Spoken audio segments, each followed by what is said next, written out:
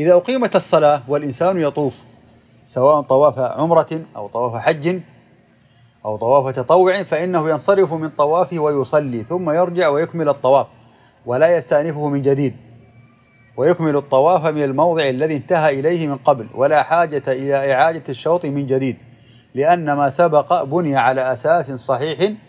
وبمقتضى إذن شرعي فلا يمكن أن يكون باطنا إلا بدليل شرعي قاله الشيخ محمد ابن عثيمين رحمه الله تعالى.